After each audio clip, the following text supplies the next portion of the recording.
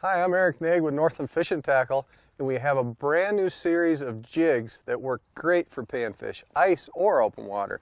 They're called the Impulse Helium Fly Series.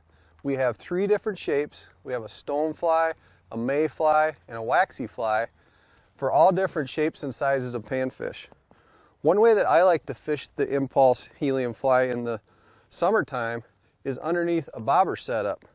So with the lightweight head in the impulse body, these baits fall tantalizingly slow in a horizontal fashion to stay in the strike zone longer. The Impulse Helium series from Northland Tackle, made by fishermen for fishermen.